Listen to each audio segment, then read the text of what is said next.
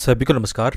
दोस्तों, आज के द हिंदू करंट अफेयर में आपका स्वागत है और बहुत ही शानदार ये वीडियो होने वाला है। सबसे पहले आप लोगों से एक रिक्वेस्ट होगी, वीडियो को लाइक, शेयर करते रहना और आज हम तीन और चार फरवरी, दो दिन के द हिंदू को कवर करेंगे, जिसमें आपके प्री और मेंस के हिसाब से बहुत ही शानदार यहाँ पे टॉपिक रखे गए हैं। और इसके अलावा जैसे एक अपडेट आपको दे देता हूँ कि जो हमारा टेन ईयर वाली जो सोल पेपर है, वो कल लॉन्च हो जाएगी। अभी हमने लगभग उसका काम निपटा दिया है। ठीक है? और कल मतलब हमारे प्लान है कि कल हम इसको लॉन्च करेंगे। तो उसमें आप लोगों का प्यार और सपोर्ट चाहिए होगा।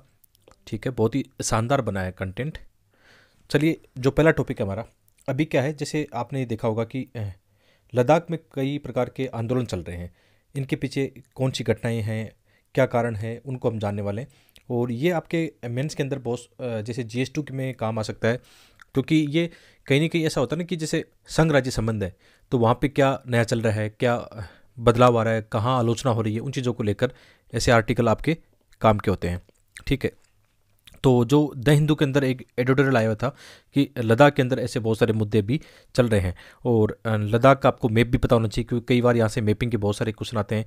कहाँ पे ले और लद्दाख है, कहाँ पे कारगिल है, कहाँ पे जम्मू कश्मीर है, पूरी आपको चीज़ें पता होनी चाहिए। आपको पता है कि यहाँ पे लद्दाख और जो जम्मू कश्मीर है, केंद्र शासित प्रदेश है, ठीक है? तो इस आर्टिकल में क्या बताया गया है? इस आर्टिकल में बहुत सारी चीज़ें बताई गई है, जैसे विशेषकर यहाँ पे एक डिमांड है किसकी? कि अनुच्छेद दो सौ चौवालीस के तहत क्या है? जो छठवीं अनुसूची है, जिसमें आदिवासी आबादी के संरक्षण का ज़िक्र है, मैं इसकी मांग चल रही है कि इनको इसमें शामिल किया जाना चाहिए, ठीक है? और जैसे अब ये हमारे काम का है यहाँ से क्या होता है? डायरेक्ट क्वेश्चन आपकी प्रीलिम्स एग्ज़ाम में आ जाएगा। पहले भी बहुत ज़्यादा आए हैं। यहाँ से जो अनुसूची आती है ना, वहाँ से बहुत ज़्यादा क्वेश्चन आए तो ये प्री में आ सकता है। या मानो एक क्वेश्चन ऐसा आ सकता है कि हाल ही में अनुच्छेद दो सौ चौवालीस को लेकर लद्दाख में ऐसी कई सारी घटनाएँ देखी गई। इसकी डिमांड को लेकर। ऐसा मेंस में एक क्वेश्चन बन सकता है। तो आपको इसके बारे में पता होना चाहिए। सारी डिटेल यहाँ पे दी गई है। तो ये टॉपिक आपके कहाँ काम आएगा जीएस टू में भी काम आएगा मेंस के एग्ज़ाम में। ठीक है? और प्री में तो बहुत इंपॉर्टेंट आपके लिए। क्योंकि आप, आपको पता होना चाहिए पाँचवीं अनुसूची, छठवीं अनुसूची या जितनी भी अनुसूचियाँ हैं, वो उसमें क्या क्या प्रोविज़न है, उनके बारे में आपको पता होना चाहिए। तो यहाँ पे जैसे आपने न्यूज़ दो चार दिनों से न्यूज़ में देखा होगा कि वहाँ के जो स्थानीय सामाजिक कार्यकर्ता है इन्वायरमेंट के विशेषज्ञ हैं सोनम वांगचुंग, इनका नाम तो आपने काफ़ी सुना है, ठीक है? कई बार हम एथिक्स के पेपर में इनको, इनका जो एग्ज़ाम्पल है वो भी बताते हैं कि उन्होंने कितना अच्छा काम किया वहाँ पर तो वो भी इस आंदोलन में शामिल हो रहे हैं, अनशन कर रहे हैं। तो इनको लेकर ये मामला और ज़्यादा चर्चा में है। तो देखो, कुल मिलाकर बात यही है कि इनकी ये एक डिमांड है कि जो स्थानीय क्षेत्र है, वहाँ पे कई सारी समस्याएँ हैं, उनको सही से एड्रेस किया जाए। इनका कहना है कि जैसे ही केंद्र शासित प्रदेश बना, उसके बाद में यहाँ पे कई सारी चुनौतियाँ, कई सारी समस्या देखी गई, जिनका समाधान उतना व्यवहारिक दृष्टिकोण से नहीं देखा गया है। तो इनकी मांग भी जायज़ है। हालाँकि केंद्र सरकार इस मामले को बहुत सीरियस ले रही है, क्योंकि आप जानते हो कि जहाँ पे जम्मू कश्मीर, लेह लद्दाख जो क्षेत्र क्षेत्र है, वहाँ पे एक तरफ़ हमारे पाकिस्तान है, दूसरी तरफ़ चीन है। और राष्ट्रीय हितों को लेकर, राष्ट्रीय सुरक्षा को लेकर कई बार मामले आपने देखे होंगे, कई बार चीन हमारी सीमा में घुसाता है, उधर से पाकिस्तान कुछ ना कुछ करता रहता है। तो ये मुद्दे समय पर सोल्व होना बहुत ज़रूरी है। और ऐसी डिमांड होती है कि इन मुद्दों को आप थोड़ा गहराई से समझो। और मेंस के एग्ज़ाम में अच्छे कीवर्ड, अच्छे आपके आइडिया आप लिख के आओ यदि ऐसे क्वेश्चन डायरेक्ट आपके एग्ज़ाम में आते हैं। ठीक है तो अगस्त 2019 में केंद्र शासित प्रदेश बनने के बाद में लद्दाख में क्या हुआ कि नौकरशाही के दिन यहाँ पे सब कुछ कर दिया गया। और जो स्थानीय लोग हैं, यानी जो चुन के आते हैं और नौकरशाही, इनके बीच में कहीं ना कहीं आपस में जो सामंजस्य होना चाहिए था, वो नहीं हो पाया, जिसके कारण इनके जो मुद्दे हैं, लोगों के जो स्थानीय मुद्दे हैं, उनको सही से एड्रेस नहीं कर पाए। ठीक है तो इसको लेकर ये मामला उजागर है कि इसका समाधान निकाला जाना चाहिए। ठीक है तो ये आपकी जो सिक्स शेड्यूल है और आर्टिकल दो सौ उसको आगे देखेंगे, जो इंपॉर्टेंट है हमारे लिए। इसमें क्या हो रहा है कि समय के साथ, नौकरशाही के साथ कारगिल और लेह यहाँ जैसे दो हिल काउंसिल के निर्वाचित प्रतिनिधियों और स्थानीय लोगों के बीच में ये तकरार या जो लड़ाई झगड़ा है वो देखने को मिल रहा है कि इनके आपसी जो हित है या समस्या है उनको भी यहाँ पे देखा जा रहा है। ठीक है। और यहाँ पर हम कुछ चीज़ें देखें तो ले के अंदर कुछ वहाँ की राजनीतिक और धार्मिक संगठन है। ठीक है, उन्होंने मिलकर क्या किया था? ले के अंदर, ले की बात कर रहे हैं उन्होंने 2020 में क्या बनाया था? ले एफेक्स बॉडी ठीक है? क्योंकि मेंस के एग्ज़ाम में जब कुछ रहेगा, ऐसा मुद्दा रहेगा तो आपके पास कुछ वहाँ की स्थानीय चीज़ें भी पता होनी चाहिए। कौन सा संगठन वहाँ पे काम कर रहा है, कौन सा संगठन इनको नेतृत्व प्रदान कर रहा है, उनके बारे में पता होना चाहिए। तो एक यहाँ पे आया कि ले एफेक्स बॉडी का गठन किया गया। साथ में जो कारगिल जिला है, ठीक है, उसमें नेशनल कॉन्फ्रेंस है, वहाँ की जो राजनीतिक पार्टियाँ हैं, कांग्रेस है सिया सुन सिया और मुस्लिमों से जुड़े बहुत सारे ऐसे संगठन हैं। उन्होंने वहाँ पर मिलकर बनाए करगिल या कारगिल। डेमोक्रेटिक अलायंस मतलब ये भी वहाँ पे काम कर रहे हैं। तो हो सकता है कई बार पॉलिटिकल मोटिवेट भी ऐसे मुद्दे हो सकते हैं। नो डाउट इसमें कोई शक नहीं है, ठीक है? दूसरी तरफ़ से हम जानते हैं कि जम्मू कश्मीर को लेकर पाकिस्तान की पॉलिसी हमेशा रहती है कि हमारे राष्ट्रीय को नुकसान पहुँचाए। तो कई बार इन मुद्दों को हवा देते हैं, लेकिन लेह लद्दाख की बात करें तो ये हमेशा से क्या रहा है? एक अच्छा क्षेत्र रहा है, शांति का इलाका रहा है। यदि यहाँ पर ऐसी आवाज़ आ रही है ना तो निश्चित रूप से इन मुद्दों को बहुत ही सीरियस लेना चाहिए। तो वहाँ पर दो संगठन हमने देखा कि इन्होंने ये मिलकर बनाया है। ठीक है? और इसको लेकर ये समय समय पर ऐसे मुद्दे उठाते हैं, ठीक है? यहाँ पे जो लोकतांत्रिक प्रक्रिया है, इनको लेकर भी कई बार सवाल उठाते हैं, ठीक है? और इसके अलावा जैसे यहाँ पर इन्होंने क्या बताया कि यहाँ पे कई प्रकार के जो लक्ष्य हैं, मुद्दे उन्होंने अपनी मांगें रखी हैं। मुख्य रूप से इनकी डिमांड क्या है, ठीक है? जो भी हमने अभी दोनों ऑर्गेनाइजेशन देखे, ठीक है? उनकी मुख्य रूप से डिमांड क्या है कि एक तो इन्हें कि पूर्ण राज्य की दर्जे की बहाली की जाए, ठीक है? छठी अनुसूची के तहत इनको संवैधानिक सुरक्षा उपाय दिए जाने चाहिए बार बार आ रहा है छठी सूची। आपको वैसे पता है इसके बारे में क्या है कि, ठीक है, जिसमें सारी डिटेल दे रखी आगे। और ले और कारगिल जिलों के लिए अलग अलग लोकसभा सीट बने। स्थानीय लोगों के लिए नौकरी में आरक्षण की मांग की जा रही है। ये मुद्दे पता होना चाहिए। बहुत इंपॉर्टेंट मुद्दे। और, देखो, इसमें समय के साथ में क्या हो पाता है। वैसे भी, इनको लेकर अलग अलग कमेटियाँ बनी हैं। उन्होंने अपनी रिकमेंडेशन दी है, लेकिन अभी तक मामला थोड़ा उतना सुलझता नज़र नहीं आ रहा है। लेकिन आने वाले वक्त में अभी जैसे डिबेट हो रही है काफ़ी चीज़ें तो यहाँ से कुछ ना कुछ अच्छा पॉजिटिव निकल के आएगा। और इसमें बताया गया कि लद्दाख की पहचान संस्कृति नाजुक पर्यावरण की सुरक्षा के लिए महत्वपूर्ण मानते हैं। क्यों मानते हैं कि स्थानीय मुद्दों को एड्रेस के कैसे किया जाएगा? इसमें बताया भी गया कि जैसे एक्चुअल में क्या था, लद्दाख पहले जैसे राज्य था, वहाँ पे कुछ एम एल पी उनको क्या करते थे, जनता के मुद्दों को उठाते थे। लेकिन जैसे ही केंद्र शासित प्रदेश बना तो वहाँ पे सीधा जो शासन है, वो कहीं ना कहीं नौकरशाही के हाथ में आ गया तो उनकी डिमांड है, उनके जो मुद्दे हैं, उनको सही से रखा नहीं गया, इसलिए ये आंदोलन चल रहे हैं। और पॉजिटिव है, लोकतंत्र में ऐसे आंदोलन हमेशा होते हैं, एक सकारात्मक दृष्टिकोण से इनको देखा जाना चाहिए, ठीक है? और इन समितियों की भी हमने चर्चा की, कई बार यहाँ पर बनी है, लेकिन उनका कोई मामला बना नहीं, सोल्व नहीं कर पाए मुद्दों को लेकर, ठीक है? तो इसमें जैसे संविधान के अनुच्छेद दो सौ चौवालीस के तहत, याद रखना बहुत इंपॉर्टेंट आर्टिकल है, के तहत छठवीं अनुसूची क्या है? आदिवासी आबादी की रक्षा करती है। यानी छठवीं अनुसूची में क्या है? ये विशेषकर जैसे, पहले असम, मेघालय, त्रिपुरा और मिजोरम राज्य के जनजातीय क्षेत्रों के प्रशासन के बारे में उपबंध है। ठीक है? इसमें देखो, संविधान में साफ़ साफ़ लिखा हुआ है, असम, मेघालय, त्रिपुरा और मिजोरम राज्यों के जनजातीय क्षेत्र। इसका मतलब इनकी भी डिमांड है कि इनको भी ऐसा दर्जा दिया जाना चाहिए। और ये आर्टिकल दो सौ चौवालीस, दो सौ के अंदर ये है। ठीक है? और पांचवीं अनुसूची में क्या है? अनुसूचित और जनजातीय क्षेत्रों के प्रशासन तथा नियंत्रण के बारे में उपबंध है।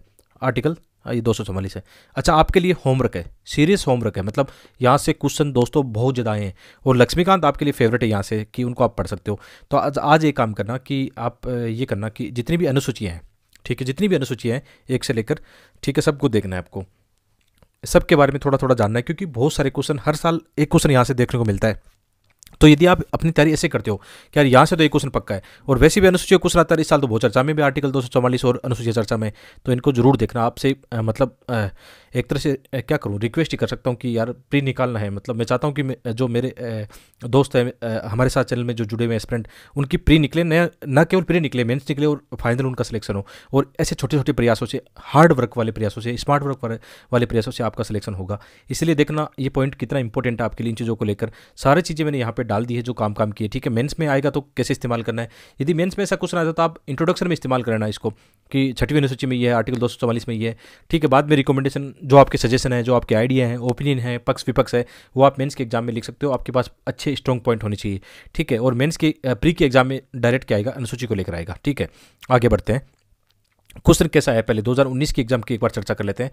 ठीक है, भारत के संविधान, भारत के संविधान की किस अनुसूची के अधीन जनजातीय भूमि का खंड के निजी पक्षकारों को अंतकरण अकृत और शून्य घोषित किया जा सकता है। इंग्लिश वाला वर्जन भी देखना आराम से। ठीक है? कौन सा? इनमें से देखो, पांचवी छठी आती तो बच्चे कंफ्यूज करते। जैसे 2019 की एग्ज़ाम मैं भी दे रहा था प्रीलिम्स एग्ज़ाम और प्री निकला भी, सौभाग्य से। ठीक है, उस साल इंटरव्यू तक भी पहुँचा। ठीक है तो इसमें जब मैं एग्ज़ाम में दे रहा था, मुझे भी कभी एग्जैक्ट याद नहीं होता है। आप जानते हो, आपकी तरह मैं भी एक्सपेरेंट हूँ, सभी होते हैं, ऐसे कन्फ्यूज़ कर जाते हैं। तो यहाँ पे पांचवी छठी अनुसूची होती तो कन्फ्यूज़ करता, लेकिन यहाँ पे तो एक ही थी। कौन सी? पांचवी तो आराम से टिक लगा दिया। ठीक है इनको लेकर। थोड़ा इनकी माइनर डिटेल है वो ज़रूर पढ़ना लक्ष्मीकांत से पढ़ना कि पांचवी छठी में अंतर क्या है बेसिक अंतर क्या है। ठीक है कई बार हो सकता है नज़दीकी आ गया मतलब इस ऑप्शन में पांचवी छठी दोनों होती तो, तो फिर दिक्कत कर जाता। ठीक है आगे बढ़ते हैं। एक और क्वेश्चन 2019 की ही एग्ज़ाम में आया। देखो अनुसूची को लेकर दो क्वेश्चन आ गए यहाँ पे कि किस प्रधानमंत्री के कार्यकाल के दौरान भारत के संविधान की नौवीं अनुसूची कितना इंपॉर्टेंट है नौवीं अनुसूची। तो यहाँ पे प्रधानमंत्री श्री जवाहरलाल नेहरू के कार्यकाल में इसको जोड़ा गया था इंपॉर्टेंट है। इसी तरह दो की एग्ज़ाम में अनुसूची को लेकर क्वेश्चन आ गया। कि यदि किसी विशेष क्षेत्र को भारत के संविधान की पांचवी अनुसूची के अधीन लाया जाए जाए तो निम्नलिखित कथनों में से कौन सा एक इसके परिणाम को सर्वोत्तम रूप से प्रतिबंध प्रतिबिंबित करेगा? अब देखो, आप अगले साल 2023 या 24 के एग्ज़ाम में देख लेना क्वेश्चन कैसा बन सकता है कि यदि किसी विशिष्ट क्षेत्र को छठवीं अनुसूची के तहत लाया जाता है तो क्या इसका परिणाम होगा?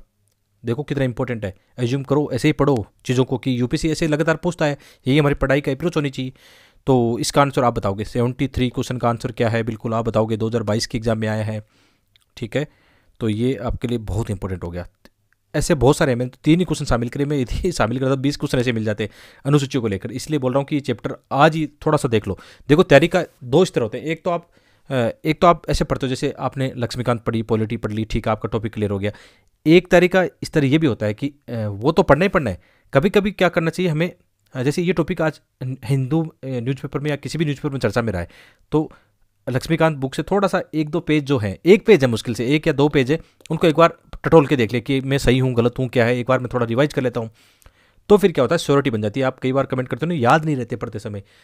याद तो चलो, आप बार बार रिटर्न करोगे तो एक समय आने लग जाएगा आपके। माइंड में, लेकिन ऐसा करते हो, जैसे पढ़ते समय आपको लगता है कि यार ये टॉपिक थोड़ा सा मैं देख लेता हूँ, इधर से संदर्भ बुक के रूप में या कोई गूगल कर लेता हूँ तो वो चीज़ें फिर स्थायी आपके माइंड में रहेगी। तो ये टॉपिक बहुत इंपॉर्टेंट प्री और मेन्स के हिसाब से था, आगे बढ़ते हैं। ठीक है, ये एक मतलब जो वन होन राइनो उसके बारे में भी द हिंदू के अंदर क्या था? देखो, एक तस्वीर आई थी ओनली वहाँ पे ज़्यादा कुछ डिटेल नहीं थी, लेकिन एक ये तस्वीर थी और उसके नीचे लिखा हुआ था पोबितोरा वन्यजीव अभ्यारण्य के बारे में। तो देखो यार यदि आप सीरियस एस्पिरेंट हो तो आपका माइंड कहेगा, यार, ऐसे क्वेश्चन मैंने कितने देखे हैं प्री एग्ज़ाम में? ठीक तो इसको मुझे देखना चाहिए।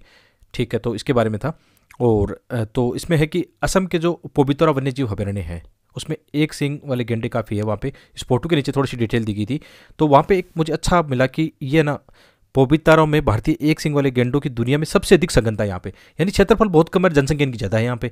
तो ये स, मतलब याद रखना ऐसे क्वेश्चन पहले आए हैं कि किस कोर में टाइगर रिज़र्व सघनता वाला ज़्यादा है तो ऐसा क्वेश्चन भी आ सकता है पोबितोरा वाला असम में ठीक है? वन्यजीव अभ्यारण्य है ये। तो यहाँ पे अड़तीस जो है वर्ग किलोमीटर के अंदर 107 यहाँ पे ये है वन होन राइनो है ठीक है? और पिछले पाँच यहाँ पे एक संकट भी देखा जा रहा है। देखो कम क्षेत्रफल होगा जनसंख्या ज़्यादा होगी तो कंजप्शन क्या होगा? उसके लिए डिमांड सप्लाई वाली हो जाएगा मामला, आपस में लड़ाई होगी खाने के लिए। तो यहाँ पे भी ये मामला है कि वर्षा यहाँ पे हुई नहीं, सूखे की समस्या है, चारे की समस्या है। ठीक है तो थोड़ा यहाँ पे संकट देखा जा रहा है।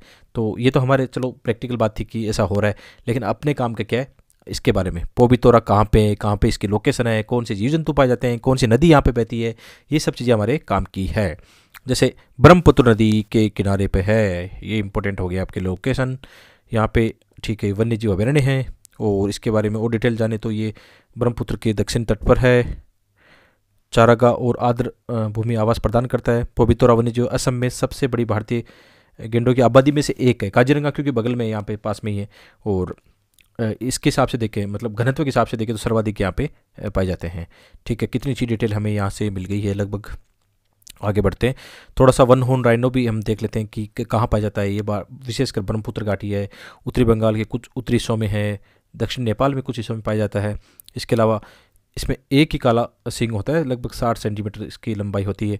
और त्वचा की परतों के साथ एक सख्त, आपने देखा होगा इसकी चमड़ी कितनी कठोर होती है, ऊपर से देखा होगा कई बार। ठीक है, ये सारी इसकी डिटेल है। आयुषन कैटेगरी इंपॉर्टेंट है। भारतीय यदि राइनो की बात करें तो आयुषन कैटेगरी कौन सी है? वलनेबल है। ठीक है तो ये सारी डिटेल आपको यहाँ पे मिल गई है। और इस यहाँ पे काफ़ी अच्छे प्रयास किए गए उनको लेकर भी कई बार चर्चा रहती है हमेशा। ठीक है, इनको बचाने के, संरक्षण के, जनसंख्या भी इनकी शायद बड़ी है मेरे हिसाब से, कई बार पढ़ा है हमने, डिटेल न्यूज़पेपर में देखा है। ये टॉपिक वैसे मैं दो तीन बार पहले भी करवा चुका हूँ। लगातार अपने नोट्स में ऐसे ही टॉपिक रहते हैं जो एग्ज़ाम में आ सकते हैं प्री एग्ज़ाम में, ठीक है? और इसमें देखो, यहाँ पे डिटेल आ गई वो, कि डब्ल्यू डब्ल्यू एफ़ के अनुसार आज जंगलों में लगभग सैंतीस भारतीय गेंडे हैं और मार्च 2022 में की गई जनगणना के अनुसार अकेले असम के काजीरंगा राष्ट्रीय उद्यान में छब्बीस सौ तेरह जानवर है। अब देखिए माइनर डिटेल क्यों डाल रहा हूँ? क्योंकि पिछले सालों में ऐसे क्वेश्चन आए हैं कि सर्वाधिक, जैसे हाथी कौन से मतलब राज्य में है? तो ये आपके लिए इंपॉर्टेंट हो जाता है कि सर्वाधिक जो वन होन राइनो वो कहाँ पे है? ठीक है, इसके अलावा औरंग पवितौरा, मानस पार्कों में भी बहुत अच्छे, यहाँ पे बहुत ज़्यादा पाए जाते हैं। ठीक है, और यहाँ पे अच्छे प्रयास किए गए असम सरकार के द्वारा, केंद्र सरकार के द्वारा इन चीज़ों को लेकर बचाने के। ठीक है, क्वेश्चन कैसा आ सकता है? इनको लेकर तो बहुत सारे क्वेश्चन है। एक नहीं है, सौ क्वेश्चन आपको मिल जाएँगे पिछले दिनों में इनको लेकर। दस साल के यदि अध्ययन करें तो उसमें ही मिल जाएँगे आपको ऐसे क्वेश्चन। कितने राष्ट्रीय उद्यान के उनके आपस में लेकर क्वेश्चन आए हैं। ठीक है तो इनका क्वेश्चन ऐसे ही आते हैं कि उनका जो राष्ट्रीय उद्यान है, अभ्यारण्य है, उनमें से बहकर कौन सी नदी बहती है? जैसे अभी हम बात करते हैं पोबितोरा की है ना? तो इसमें से कौन सी नदी ब्रह्मपुत्र नदी बहती है? ठीक है तो ये आपको पता होना चाहिए। जैसे काजीरंगा की बात करें तो इसके हिसाब से आप निकाल सकते हो। इनमें से कोई सही नहीं है वैसे, ठीक है। आंसर आपका यहाँ पे पड़ा है। क्वेश्चन बस इसलिए रखा कि ताकि आपको आइडिया रहे कि क्वेश्चन कैसा फ्रेम हो सकता है। ठीक है, एक क्वेश्चन और 2019 के एग्ज़ाम में आया हुआ था। कि यहाँ पे देखो देखो कुछ खेलते हैं इस क्वेश्चन से। अच्छा क्वेश्चन है अटेम्प्ट लेने का तरीका भी हम सीखते हैं कि कैसे आपका माइंड सेट होना चाहिए क्वेश्चन अटेम्प्ट लेते समय। 2019 की बात है तो ऐसा क्वेश्चन है, निम्नलिखित खतरों पर हमें विचार करना है कंसिडर करना है, ठीक है? तो इसमें कि जो एसेटिक लॉइन है, जो एशियाई शहर है, कहाँ पे जो शहर है, कहाँ पे प्राकृतिक रूप से सिर्फ़ भारत में पाया जाता है, ठीक है? रखते हैं अभी श्योर नहीं, आगे बढ़ते हैं। आगे है कि जो दो कुबड़ वाला है, दो कुबड़ वाला जो ऊँट है, प्राकृतिक रूप से सिर्फ़ भारत में पाया जाता है। ठीक है, भारत में कहाँ पाया जाता है? देखो, दो कुपड़ ऊँट वाला उन मरुस्थलों में पाया जाएगा जहाँ पे शीत मरुस्थल है, ठीक है, शीत मरुस्थल में। तो शीत मरुस्थल हमारे कहाँ है? लेह लद्दाख में, पता है? ठीक है तो इसका मतलब भारत में तो है लेह लद्दाख में, लेकिन शीत मरुस्थल क्या विश्व में और कहीं भी है? देखो, ऊँट मरुस्थल में पाया जाता है, संभावना कॉमन सेंस कहता है, ठीक, पाया जाता है। हर एक इन्वायरमेंट इकोलॉजी के हिसाब से वहाँ के जीव जंतु होते हैं तो ऊँट कहाँ पे? डेजर्ट में पाया जाता है। रेगिस्तान का जहाज़ है। हमारे यहाँ पे भी है, काफ़ी ऊँट पालते हैं हम लोग। ठीक है, क्योंकि हमारे यहाँ कौन सा डेजर्ट है? थार डेजर्ट है। तो यहाँ पे सिंगल कुबड़ वाला ऊँट पाया जाता है। तो मध्य एशिया वगैरह में कई बार आपने यूट्यूब पे, कहीं डॉक्यूमेंट्री में बीबीसी की डॉक्यूमेंट्री में देखा होगा, वहाँ पे दो कुबड़ वाले ऊँट खूब देखें बर्फ़ से वो पानी प्राप्त करते हैं, बर्फ़ खाते हैं वो। ठीक है, देखा है। तो मैं अपनी बात कर रहा हूँ कि मैंने कॉमन सेंस से सही किया कि मैंने डॉक्यूमेंट्री देखी हुई थी कि हाँ ऐसे खाते हैं। तो अपना वाला क्या हुआ? दो तो पक्का चला गया, देखो। दो स्टेटमेंट एलिमिनेट हो गए। अब बचा एक। ए और सी ठीक है? ऐसे ही करना चाहिए एग्ज़ाम में, ऐसे सोच समझ के। एक सिंग वाला गेडा प्राकृतिक रूप से सिर्फ़ भारत में पाया जाता है। सिर्फ़ भारत में पाया जाता है। एक बार ऊपर जाके देखते हैं कि क्या सिर्फ़ भारत में पाया जाता है। अपने नोट से क्वेश्चन कवर हो रहा है क्या नहीं? यहाँ पे देखते हैं, कहाँ पे? नेपाल। दक्षिणी नेपाल के कुछ हिस्सों में भी पाया जाता है। हमारे पास डिटेल है एकदम। ये देखो तो इस क्वेश्चन को आप हैंडल कर सकते हैं भाई। कैसे? केवल भारत सिर्फ़ भारत में नहीं पाया जाता। कट गया। तीसरा वाला कटते ही अपना आंसर निकल गया। देखो, ये आंसर है। ऐसे ही करना चाहिए। पहले चाहिए, इसमें आप कन्फ्यूज़ थे श्योर थे नहीं, लेकिन कॉमन सेंस थोड़ा प्रैक्टिकल स्मार्ट तरीका दिखाते हुए हमने अपना आंसर निकाला है। पसंद आया लाइक करो कमेंट करके बताओ कि अच्छा लगा। ठीक है, अपने दोस्तों को शेयर करो। यार, इतना अच्छा कंटेंट मुझे तो मज़ा आ रहा है, अपने लेसन में खुद ही पढ़ रहा हूँ, खुद ही रिविजन कर रहा हूँ, खूब मज़ा आ रहा है। ठीक है, ऐसे ही पढ़ना चाहिए। आगे बढ़ते हैं। अच्छा आप लोगों को लग रहा कि आज लेसन इतना अच्छा क्यों हो रहा है? इतना आज मैं खुशी से कैसे पढ़ा रहा हूँ? पिछले तीन महीनों से मैं एक इस पे टेन ईयर वाले पे लगा था, तीन बने हो गए। दिन रात एक कर दिए। एक इसका एक आपको क्या बोलते हैं, इसका आउटकम बताता हूँ आपको कि मतलब इनको तैयार करते समय करते करते क्या हुआ, मेरी आँखें दस गई है। ठीक है, ये एक बड़ा आउटकम निकल के आया नेगेटिव फीडबैक दे रहा हूँ कि इतना काम करते करते डार्क सर्कल बन गए ठीक है, अब आपकी बारी की कल जब लॉन्च करेंगे ना तो आप लोगों का कितना प्यार देखने को मिलता है। यदि आप लोग सपोर्ट करोगे अच्छा जाएगा रिस्पॉन्स तो ये जो कंटेंट है ना, जो हिंदी मीडियम को दिक्कत आती है इंग्लिश मीडियम का कंटेंट की है ना मतलब मैं बाढ़ ला दूँगा इसकी, अपने हाथों से खुद तैयार करूँगा सब चीज़ें। वैसे भी काफ़ी कुछ कर चुका हूँ, लेकिन यदि इसमें सपोर्ट मिलता आप लोगों का। ये मतलब ये जो बुक है काफ़ी दिल से तैयार की गई है। हालाँकि उसमें तैयार करते करते मैंने एक चीज़ें देखी कि उसमें कुछ असूदियाँ मिल सकती है। बहुत बार हमने प्रूफ रीडिंग की, लेकिन कुछ असूदियाँ मिलेगी, उसको आप माफ़ करना, ठीक है? लेकिन कंटेंट लाजवाब है। उसमें जो तरीका है, जो मैं अभी क्वेश्चन बता रहा हूँ ना उसमें लिखे गए हैं तरीके। अलग अलग तरीके से उसमें अच्छे अप्रोच के साथ में। तो मुझे खुशी है कि शायद शायद नहीं, कल हो जाएगी लॉन्च है ना? क्योंकि लगभग हमने काम कर लिया है, कल लॉन्च करेंगे तो खुशी की बात है हमारे लिए। तो आगे बढ़ते हैं। तो ये जो इंपॉर्टेंट है हमारे लिए, कहाँ काम आएगा? मेंस के एग्ज़ाम में काम आएगा। कैसे काम आएगा? देखो, अभी हम क्या कर रहे हैं? जी ट्वेंटी की क्या कर रहे हैं? अध्यक्षता कर रहे हैं। तो अच्छा इस जी ट्वेंटी के क्वेश्चन मैंने देखे हैं। टेन ईयर में तीन चार बार आ चुके हैं। तो दोस्तों, इस बात का ध्यान रखना। मैं आने वाले, जैसे कल कल के बाद में क्या करूँगा? दस पंद्रह दिन तक लगातार आपके लिए प्री की एक सीरीज़ ला रहा हूँ, जिसमें आपको हर एक एंगल से बताऊँगा कि हर एक टॉपिक से कहाँ कहाँ से क्वेश्चन पूछे गए हैं।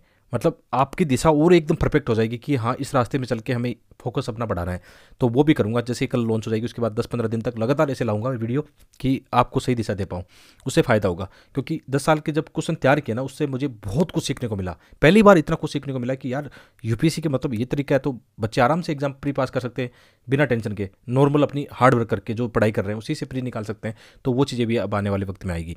ठीक है तो ये पैटर्न को था। तो इसमें क्या था कि अभी जो जैसे इसमें क्या हो रहा है, इसके साथ बहुत सारे इवेंट हो रहे हैं। जो जी ट्वेंटी की मीटिंग हो रही है, उसमें बहुत सारे इवेंट हो रहे हैं। उसमें क्या हो रहा है कि एक इवेंट है इवेंट ये है कि जो गुजरात है कच्छ के रण में वहाँ पे टूरिज़्म को बढ़ावा देने के लिए, विशेषकर जो रूरल टूरिज़्म है, ग्रामीण टूरिज़्म उसको बढ़ावा देने के लेकर यहाँ पे बहुत सारी चीज़ें हो रही है। तो इसमें चीज़ें चर्चा में रहती है, जैसे मध्य प्रदेश का लाडपुरा खास गाँव है, नागालैंड का कौन सा, खोनोमा गाँव है, इसके अलावा धोलावीरा, जैसे विरासत स्थलों को भारत द्वारा ग्रामीण और पुरातत्विक पर्यटन की सफलता की कहानियों के रूप में प्रदर्शित किया जाएगा, ठीक है? जो कि जी ट्वेंटी राष्ट्रों की पहली पर्यटन कार्य समय की बैठक के दौरान कच्छ किरण में आयोजित किया जा रहा है। देखो, यहाँ से ऐसा है कि कभी कभी हो सकता है कि क्वेश्चन कैसे फ्रेम हो जाएगा लाडपुरा खास गाँव नागालैंड का खोनामा गाँव, ये हाल ही में क्यों चर्चा में रहे हैं? क्योंकि पहले भी ऐसे क्वेश्चन तीन चार आ चुके हैं ऐसे इसी फ्रेम पर, ठीक है? कोई किसी संस्था को लेकर चर्चा में रहा, कोई किसी जल योजना को लेकर चर्चा में रहा, कोई घाटी को लेकर चर्चा में रहा तो ऐसे इसलिए मैंने प्री के हिसाब से इनको रखा कि ऐसे क्वेश्चन आए हैं पहले तो इनको रखना ज़रूरी है। और साथ में, मेंस के एग्ज़ाम में जैसे जीएस थ्री में ये जीडीपी में पार्ट अपना कि जो टूरिज़्म है इंडस्ट्री है, जितनी भी चीज़ें हैं ना, ये जी एस थ्री का पार्ट है। तो वहाँ पे भी कई बार ऐसे क्वेश्चन आ सकते हैं। तो आप अपना एग्ज़ाम्पल देख के बताओगे कि हाल ही में हमने जी ट्वेंटी में ये चीज़ें बहुत अच्छे से की है। जी ट्वेंटी में हमने ग्रामीण टूरिज़्म को बढ़ावा देने के लिए वहाँ पर कई हमने रोल मॉडल चीज़ों को आगे रखा है। तो मेन्स के एग्ज़ाम में आप कोट करोगे इन चीज़ों को। एग्ज़ाम्पल के रूप में, ठीक है? तो इसमें बहुत सारी चीज़ें क्या है कि जैसे ग्रामीण पर्यटन पुरातत्व पर्यटन क्या करें, इस समय सात से नौ फरवरी तक क्या करें जी ट्वेंटी की पहली जो पर्यटन मंत्री स्तरीय बैठक है, उसमें कई पक्षों पर काम कर रहा है। जैसे इसमें हमने बात की कि जैसे लाडपुरा गाँव है, जैसे इसको एक और है यू जो है यू मतलब जो united nation world tourism organisation है इंपॉर्टेंट है। ऑर्गेनाइजेशन को लेकर यूपीसी प्री में बहुत सारे क्वेश्चन आते हैं। तो इसमें हमारा ये भी काम है जो आगे मैंने दे दिया है। तो यहाँ से भी प्री में क्वेश्चन बन सकता है। तो उन्होंने सर्वश्रेष्ठ ग्रामीण पर्यटन गाँव के रूप में नामित किया गया था इसको। ये इंपॉर्टेंट है यार, क्योंकि ऐसा क्वेश्चन आ सकता है। और इस गाँव में राज्य सरकार ने राज्य के जिम्मेदार पर्यटन मिशन के तहत होम स्टे आदि विकसित किए हैं, क्योंकि गाँव में बहुत ज़्यादा अपॉर्चुनिटी है। होम स्टे की अपॉर्चुनिटी है, गाँव में एग्रीकल्चर टूरिज़्म हो सकता है, पशुपालन का इनका विज्ञान हो सकता है, उनको देखने के लिए लोग आते हैं बहुत दूर से फ़सलों को देखने के लिए। बहुत सारा और भी जो ऑर्गेनिक फ़ार्मिंग है, कई सारी चीज़ें इनके साथ जुड़ी हुई है, ठीक है। तो इसमें क्या है कि भारत समुदाय आधारित ये इंपॉर्टेंट है कि हम जानते हैं कि हर एक सेक्टर में जैसे हमारे जीडीपी का टारगेट है कि हम आने वाले समय में इतना अचीव करेंगे तो उसमें हर एक जो जो उद्योग है या हर एक जो सेक्टर है उसका एक बड़ा रोल होता है। टूरिज़्म का भी हमारे देश की जीडीपी में आठ नौ दस परसेंट तक योगदान होता है। आप, आपने देखा होगा कई बार कितने परसेंट रोज़गार इसमें मिलते हैं कितने लोगों का डायरेक्ट और इनडायरेक्ट मतलब इनके साथ बिज़नेस जुड़ा हुआ है तो बहुत इंपॉर्टेंट है। तो ये क्या है भारत में सामुदाय आधारित जो मॉडल है, जिसमें ग्रामीण होम स्टे सामुदायिक स्थान, काफ़ी चीज़ों को जोड़ा गया है, जिसमें पूरा गाँव को कहीं के रोज़गार मिल सकते हैं। इन चीज़ों में बताया गया जैसे हमारे बहुत सारे टूरिज़्म ग्रामीण टूरिज़्म विकसित हो सकते हैं ऑलरेडी चल भी रहे हैं, जैसे हिमालय क्षेत्र है, उस वहाँ पर सांस्कृतिक चीज़ें बहुत ज़्यादा है, ठीक है। और इसके अलावा जैसे नागालैंड का ये गाँव इको टूरिज़्म का मॉडल पेश किया जा रहा है, ठीक है, खोनोमा गाँव को। तो ऐसे बहुत सारे हैं, नागालैंड में या मेघालय में आपने देखा होगा कौन सा एक गाँव है, वो सौस्ता का मतलब मेलुंग नाम ऐसा कुछ गाँव है, आप कमेंट करके बता सकते हो, यदि पता हो तो मैं अभी भूल गया हूँ उसको। जो एशिया का सबसे सोच गाँव है, वहाँ पे मतलब देखो तो आप टूरिज़्म के लिए जाना जाता है वो, ठीक है? उसको लेकर एक बार क्वेश्चन हमारे जोग्राफी ऑप्शनल मैपिंग का आया था, मुझे याद है एक बार तो ऐसे क्वेश्चन आ सकते हैं, ठीक है? इसके अलावा जैसे इसमें ये कि टूरिज़्म जो है, ग्रामीण पर्यटन क्या है? सामुदायिक सशक्तिकरण और गरीबी उन्मूलन के साधन के रूप में प्रस्तुत होता है। देखो, ये लाइनें, पंच लाइनें होती है। कहाँ इस्तेमाल करते हैं? ऐसे के पेपर में, जहाँ पे कोई ऐसा आप लिख रहे हो एथिक्स में कुछ ऐसा कुछ लिख रहे हो या एथिक्स में नहीं तो जी एस टू में जी एस वन में कहीं भी आपको लगता है कि ऐसा इस्तेमाल करना चाहिए कि कैसे हम गरीबी को दूर कर सकते हैं, कैसे सस्टेन डेवलपमेंट को आगे बढ़ा सकते हैं, ये बहुत इंपॉर्टेंट चीज़ें होती हैं, ठीक है? और ये जो ऑर्गेनाइजेशन की हमने बात की थी, विश्व पर्यटन संगठन U N W T O important है। संयुक्त राष्ट्र संघ का एक क्या है, ये एजेंसी है उसकी। कई बार ऐसे एक फैक्ट आएगा कि ये संयुक्त राष्ट्र संघ की एजेंसी नहीं है है, ऐसे क्वेश्चन बनेंगे। तो विश्व जो है world tourism organisation U N W T O है यूनाइटेड नेशन की क्या है एजेंसी है, क्या करती है प्रमोशन किसका? ये करती है, जैसे जो पर्यटन है, उसमें स्थायी रूप से जिम्मेदार, टिकाऊ, सार्वभौमिक रूप से शुरू हो सके। मतलब कई सारी चीज़ों को एक साथ लेकर आगे बढ़ती है। और पर्यटन के क्षेत्र में अग्रणी अंतर्राष्ट्रीय संगठन के रूप में U N W T O पर्यटन को आर्थिक विकास, समावेशी विकास और पर्यावरण स्थिरता के चालक के रूप में बढ़ावा देता है। और दुनिया भर में ज्ञान और पर्यटन नीतियों को, इसकी सारी डिटेल यहाँ पे, इसकी स्थापना कब हुई थी? ये सुवित्राट सिंह की विशेष एजेंसी साफ़ लिखा हुआ है। इसका मुख्यालय कहाँ पे है? मेडिट स्पेन में। तो संगठन की डिटेल देखो, सही एकदम। ठीक है। अच्छा आप लोगों की एक डिमांड थी ना कि मैं अपनी जो थी स्लाइड्स को ख़त्म कर दूँ। स्लाइड्स की बजाय क्या करूँ? पीडीएफ बनाऊँ ताकि आप लोग कई बच्चे क्या करते हैं, प्रिंट निकालते हैं। तो मैंने आपकी रिक्वेस्ट पर देखो, बदलाव कर दिया है। जैसा आप बोलते हो, वैसा करता हूँ। ठीक है, बस आप लाइक नहीं करते हो, मैं बोलता हूँ लाइक नहीं करते हो वीडियो को कमेंट नहीं करते हो, अपने दोस्तों को शेयर नहीं करते हो। अपने सब्सक्राइबर देखो कितने कम हो रहे हैं बढ़ ही नहीं रहे इतना प्रयास करने के बावजूद। जबकि यूट्यूब पर आपने देखा ना कितने ऐसे ऐसे यूट्यूब चैनल देखे हैं जिनके यू से जुड़े हुए, जो कोई मतलब मुझे खास नज़र नहीं आती, लेकिन उसके सब्सक्राइबर बहुत ज़्यादा होते हैं, क्योंकि वो दिखावा करते हैं, चीज़ों को प्रेजेंट ऐसे करते हैं। आप देखोगे, आपको पता है कौन सा चैनल काम का है, नहीं काम का है। तो यही है कि मैं तो चाहता हूँ कि हमारी कम्युनिटी आगे बढ़े। इतना मोटिवेशन मिले, लोग हमारे साथ जुड़ेंगे कुछ यहाँ से आर्थिक रूप से आय ज़्यादा होगी तो मोटिवेशन भी ज़्यादा मिलता है, खर्चे भी बहुत सारे हैं। तो ये प्रैक्टिकल बातें हैं यार, जो आपके साथ साझा करता हूँ। थोड़ा सपोर्ट करो इस चीज़ों को लेकर, है ना? ठीक है? आगे बढ़ते हैं। ये एक अच्छा आर्टिकल था किसमें? द हिंदू के अंदर एक अच्छा एडिटोरियल था गोइंग ग्रीन क्योंकि बजट में हाल ही में क्या हुआ था? कई सारी चीज़ें इसको लेकर शामिल की गई थी तो सरकार का एक टारगेट है कि कैसे हम अपने लक्ष्य को हासिल करें। तो बजट में बहुत सारी चीज़ें शामिल की गई। ये कहाँ काम आएगा? ये आपके काम आएगा जी एस थ्री में। वहाँ पे कई बार डायरेक्ट ऐसे क्वेश्चन होंगे जहाँ पे आपको बजट और इकोनॉमिक सर्वे की चीज़ों को लिखना पड़ेगा। इंट्रोडक्शन में लिखना पड़ेगा, समाधान में लिखना पड़ेगा कि हाल ही के दो हज़ार या दो हज़ार के बजट में ऐसा किया गया। ऐसा होना चाहिए। आप इकोनॉमिक सर्वे को कोट कर सकते हो कि 2022 तेईस का इकोनॉमिक सर्वे या जो भी इकोनॉमिक सर्वे उसको कोट कर सकते हो, उसमें ऐसा बताया गया है। तो इसलिए मैं लिख रहा हूँ कि मेन्स के एग्ज़ाम में बहुत ज़्यादा काम आएगा।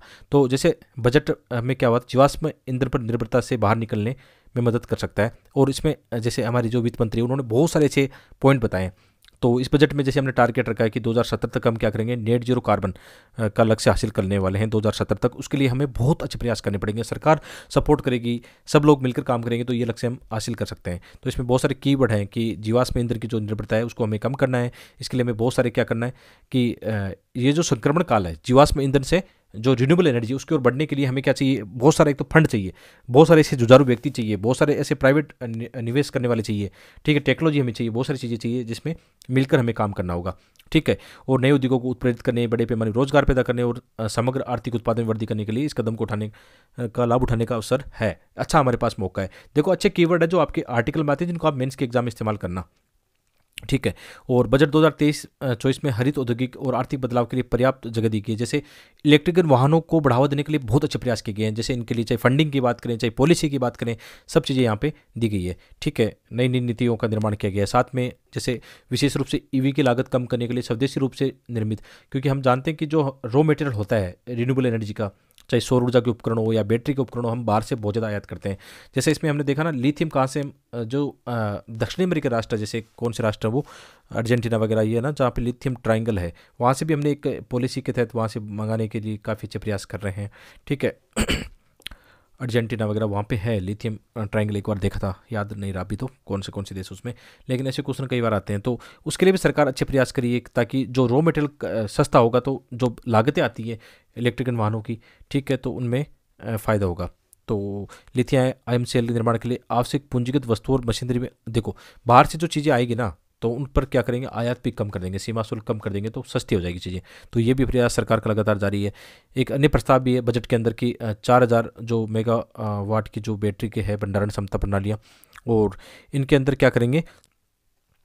वाइबिलिटी गैप फंडिंग, ये क्या है? ये इकोनॉमी की चीज़ें हैं। कि इसमें क्या होता है, जैसे आपने देखा होगा कि बहुत सारी योजनाएँ चलती है, जैसे पीपीपी मॉडल में चलती है, जैसे सड़कों का निर्माण हो रहा है या कोई अन्य योजनाओं का निर्माण हो रहा है तो सरकार अपनी तरफ़ से एक तरह से अनुदान या ग्रांट या एक तरह से कह सकते हैं सरकार वित्तीय सपोर्ट करती है। ठीक है, इसको टेक्निकल तो आप गूगल या भुंडाल सर की इकोनॉमी की वीडियो कभी देखते हो तो उनमें कर लेना या यूट्यूब पर देख लेना, लेकिन नॉर्मली इसका मतलब क्या होता है वी का कि सरकार सपोर्ट करती है इन चीज़ों को आर्थिक रूप से। तो ये भी इनमें प्लान है कि कैसे हम जो इलेक्ट्रिकल या इलेक्ट्रिक के जो वाहन है, इनके निर्माता है, उनको सपोर्ट करने के लिए सरकार ऐसा कर रही है।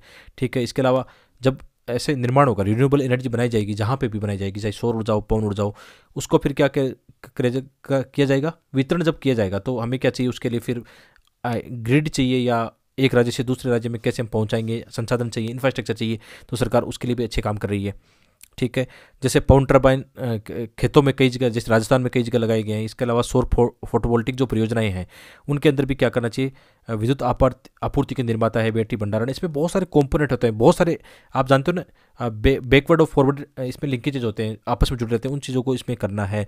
और इसमें एक एग्ज़ाम्पल भी दिया गया था कि जैसे विशेषकर लद्दाख से क्या है, तेरह गीगावाट नवीनीकरण ऊर्जा के निकासी और ग्रिड एकीकरण के लिए एक अंतर्राज्यीय पारेषण प्रणाली। ठीक है, इसका भी यहाँ पे विकास करने की बात चल रही है। ठीक है ग्रिड इंटीग्रेशन इनमें काम चल रहा है। और बंजर भूमि अपने सरकार की पॉलिसी देखी हुई कई बार, बहुत सारे जैसे जहाँ पे नहरें हैं या बंजर भूमि है, वहाँ पे सौर ऊर्जा के ऐसे बहुत सारे क्या किए जा रहे हैं? उपकरण लगाए जा रहे हैं। इसके अलावा लद्दाख का इसमें एग्ज़ाम्पल हमने अभी पहले देखा कि बंजर भूमि के अपने विशाल सौर देश में क्योंकि लद्दाख में अच्छी सूर्य की एनर्जी आती है तो वहाँ पर बंजर भूमि काफ़ी ज़्यादा मरुस्थल है तो वहाँ पर क्या हो सकता है? पर्याप्त सौर ऊर्जा के ऐसे उपकरण या अच्छा खासा निवेश हो सकता है तो वहाँ से फिर क्या होगा? हमें रिन्यूएबल एनर्जी का एक अच्छा खासा सोर्स या चीज़ें प्राप्त हो सकती है। तो ये चीज़ें काफ़ी इसमें बजट वाले इसमें आर्टिकल में बताई गई थी। आशा करता हूँ ये वीडियो हमेशा की तरह आपको पसंद आएगा। साथ में आप लोग विज़िट कर सकते हो हमारे टेलीग्राम चैनल पर लिंक यहाँ पे दिया हुआ है। इसको क्लिक करना पीडीएफ में। वेबसाइट पे ज़रूर विज़िट करना। कल हम वेबसाइट पे क्या करेंगे? अपनी लॉन्च करेंगे। ठीक है? अपनी पीडीएफ कल यहीं लॉन्च होगी अपनी वेबसाइट पे, कल आप देखते रहना। आज वहाँ पे अभी भी बहुत सारे, जैसे मैंने टेस्ट लॉन्च कर दिए सौ सौ क्वेश्चन एमसीक्यू जो होते हैं N C R T based chapter के ना? बहुत ही शानदार तरीके से बनाए मैंने एन सी आर टी के अच्छे चैप्टर बना दिए जैसे एन सी आर टी में आप चैप्टर पढ़ते हो, ठीक है चैप्टर एंड होने के बाद आपको क्या चाहिए, अपने आप को जज करना है, चीज़ों को सीखना है कि हमने, आपने क्या सीखा तो आप एम सी क्यू हमारे अटैम्प्ट ले सकते हो। ठीक है बहुत बहुत धन्यवाद।